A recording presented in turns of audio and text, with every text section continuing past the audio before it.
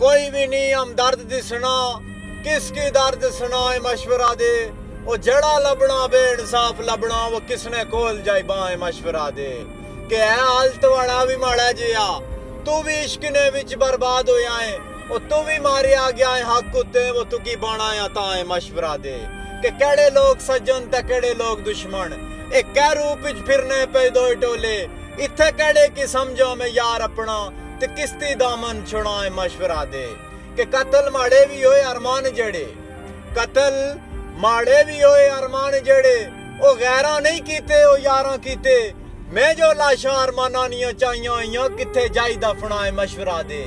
ਕਿ ਉਹ ਜੰਗਲ ਜਿਸ ਕੀ ਆਖਣੇ ਨਹੀਂ ਨੋਈ ਆਲੇ, ਉੱਥੇ ਆਪਣੀ ਜਵਾਨੀ ਮੈਂ ਛੋੜ ਆਇਆ। ਉਹ ਖੱਡਾਂ ਦੀ ਲੈਣ ਵਿੱਚ ਹੁਣ ਕਿਸ ਤਰ੍ਹਾਂ ਜਾਓ ਪਰਲਾ ਗਰਾਏ ਮਸ਼ਵਰਾ ਦੇ।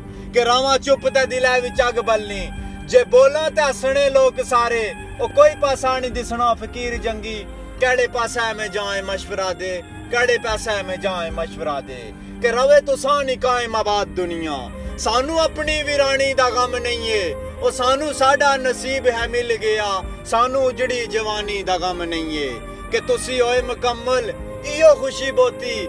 वो उस अधूरी कहानी दा गम नहीं है ओ जैगम ताज महल दे बासियों नी इधर अथरू निशानी दा गम नहीं है इधर अथरू निशानी दा गम नहीं है कि दुनिया लियो ना छेड़ो पला हुए ओ दुनिया लियो ना छेड़ो भला हुए सीना अग्गे ही दर्दां थ चूर होया ओ वेख मेरी गरीबी मैं कह दसा मैं थी अपना पराया है दूर होया कि जिसनु जानी तो वध प्यार कीता ਉਹ ਦੌਲਤ ਵੇਖ ਕੇ ਉਹ ਮਗਰੂਰ ਹੋਇਆ। ਉਹ ਜ਼ੈਗਮ ਧੋਖੇ ਹਰ ਮੋੜ ਤੇ ਮਿਲੇ ਮੈਨੂੰ। ਮੈਨੂੰ ਪਤਾ ਨਹੀਂ ਕਿਹੜਾ ਕਸੂਰ ਹੋਇਆ। ਮੈਨੂੰ ਪਤਾ ਨਹੀਂ ਕਿਹੜਾ ਕਸੂਰ ਹੋਇਆ।